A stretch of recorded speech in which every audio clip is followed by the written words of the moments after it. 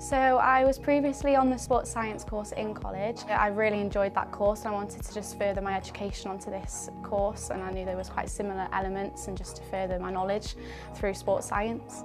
Well, I've been here since level three, um, doing the sports performance and excellence course, uh, along with playing the academy as well. And this was just the next step up really in terms of my development in the sports sort of field. So I thought here would be the best. I was already comfortable here. The tutors were all great, I know them all. So yeah, I just felt like it was sort of the best best place for me to go.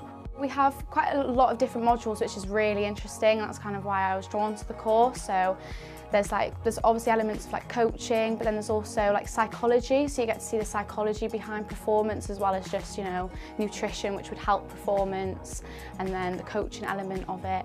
And we also have an employment based part of it all. So that's where we get guidance for getting our um, experience outside of the college. I like the facilities because in the UCCL they let you like take laptops out.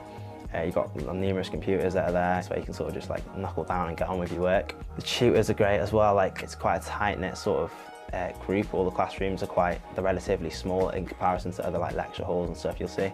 Part of my employment-based learning is that we have the opportunity to go and gain 50 hours for this course, which is where you can go and help out. Um, so I'm currently volunteering at a primary school, so I go there on a Friday afternoon and I help out with their um, like PE lessons and that's really like a good experience for me.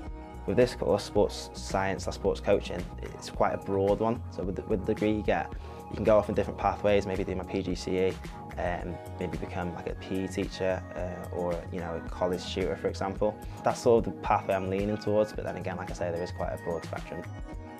Be organised so when an assignment's set just maybe get it started and plan how much time you'll need to give for that assignment and if you have any worries or need help on anything definitely go to the tutors they're always wanting to help and they're there to guide you. My advice would be to definitely go for it here because you know, I don't think you're going to find a place you'll enjoy more, to be fair.